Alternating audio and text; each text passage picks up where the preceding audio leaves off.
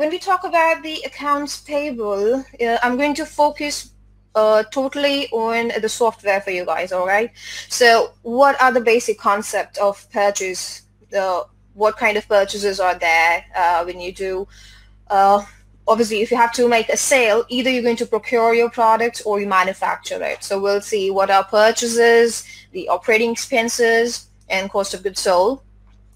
And when we talk about Xero, how we deal with the various stages of the purchases, like creating a purchase order, and uh, creating a bill from that purchase order. And uh, there can be scenarios where you need to return some purchases. So it's going to be the credit uh, notes which you need to issue for that purchase in the books. then we'll talk about further the bookkeeping expenses. Basically, uh, there's a part when we do the inventory and we manufacture things, we procure things. That is a part uh, where we talk about the various purchases stages. But to do that, that uh, you know, manufacturing and procurement, there are going to be multiple on-top operating expenses. So how to enter those bills? And on top, uh, we have uh, the benefit of repeating bill templates in Xero.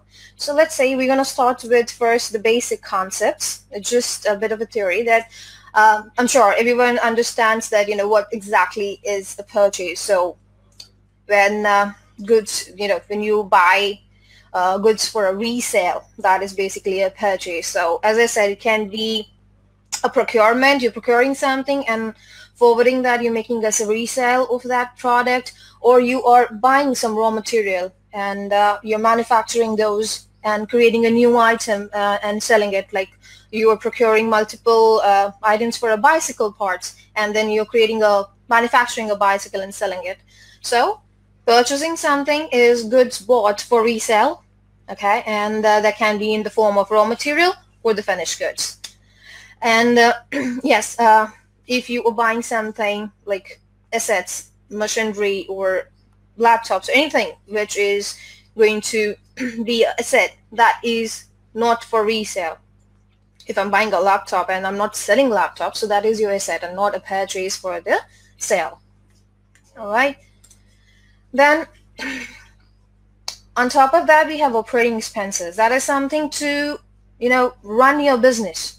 If I'm manufacturing cycles, so obviously I need uh, employees i need a factory i need to pay rent for that or either i need to buy that.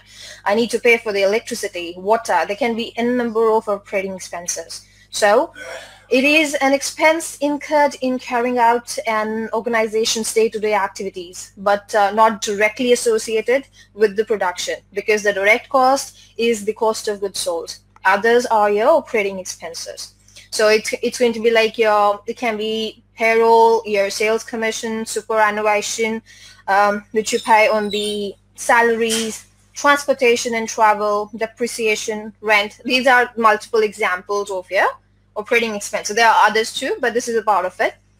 So usually these are divided into your selling expense, administrative and general expenses. And typically non manufacturing expense, not the direct cost. It is all your indirect cost, right?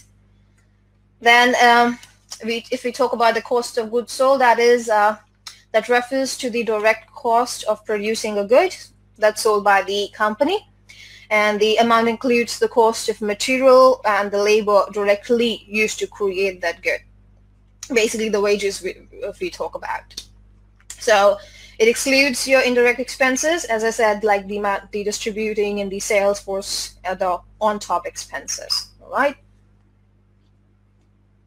So just a quick question here.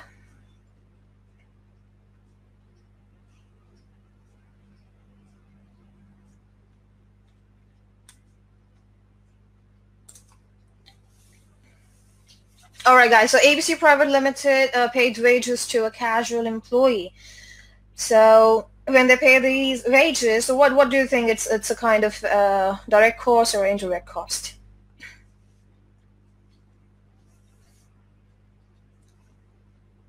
All right. Hey, Jess, can you hear me? Uh, yes, Nick. Okay, great. So 17 people have voted. We are still uh, they're still voting. It's a good question actually, which you have prepared. It's uh, wages to his casual employees. What's the nature of the payment? Direct cost and indirect cost. So it looks like we are split half and half. Half people are saying it's direct cost. Other half is saying indirect cost. Interesting. So five um, more people haven't replied yet. So please, uh, yes.